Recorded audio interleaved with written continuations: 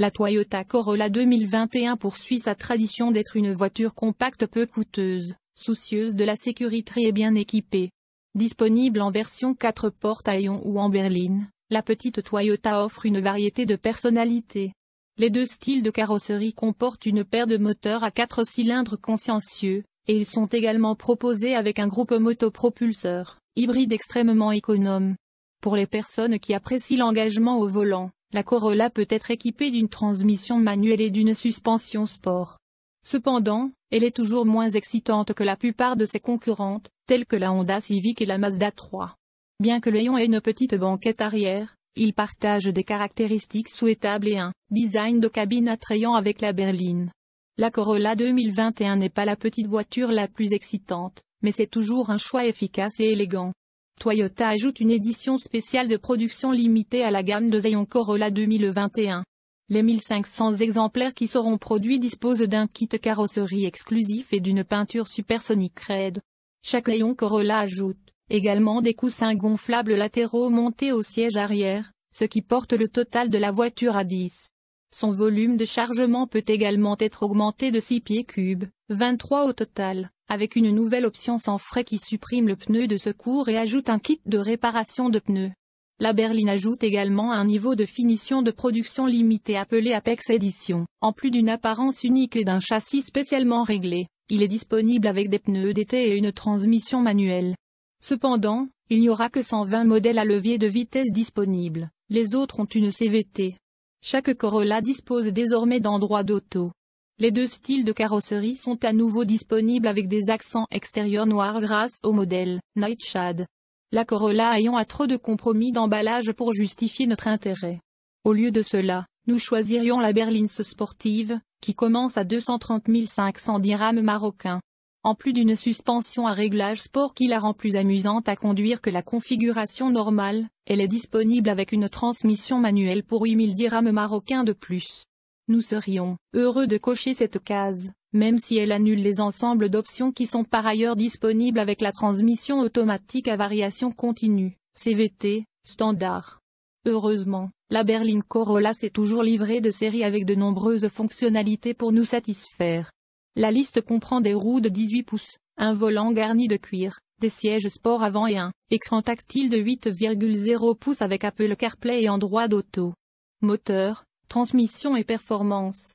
À l'exception des modèles plus sportifs SE et XSE, la berline Corolla utilise un 4 cylindres de 1,8 litres développant 139 chevaux qui envoie la puissance aux roues avant via une transmission automatique à variation continue, CVT.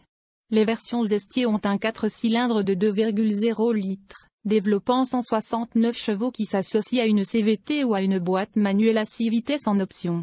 Alors que toutes les berlines ont le plus gros moteur, Seule la berline offre un groupe motopropulseur hybride. Nos tests de la Corolla SE 2019 à Lyon et de la berline Corolla XSE 2020 ont prouvé que même le moteur le plus puissant n'offre pas une accélération adéquate. Les jumeaux Toyota étaient prudents en ville et stables sur l'autoroute. Cependant, une forte accélération produisait des bruits grossiers de moteur qui diminuaient leur raffinement.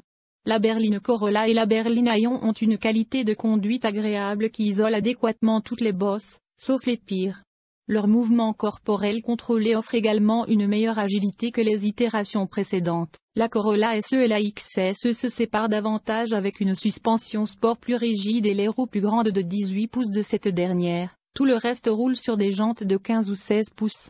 Pourtant, comparé à des rivales athlétiques et attachantes, telles que la Mazda 3 et la Volkswagen Golf, la direction progressive de la Corolla est satisfaisante mais pas exemplaire. Bien qu'aucun des styles de carrosserie de la Corolla n'ait obtenu des résultats impressionnants lors de notre test de freinage à 120 km par heure à zéro, nécessitant entre 54 et 57 mètres, leur pédale de frein était fiable et facile à utiliser. Économie de carburant et MPG du monde réel. En plus de deux 4 cylindres éco-énergétiques, la berline Corolla 2021 propose un modèle hybride, extrêmement économe, L'EPA estime que l'hybride gagnera 90 km pour gallon en ville et 96 km pour gallon sur autoroute. Comparativement, Le gouvernement estime que le moteur de 2,0 litres de la berline non hybride gagnera jusqu'à 75 km pour gallon sur autoroute tandis que le 1,8 litres est évalué jusqu'à 65 km pour gallon sur autoroute.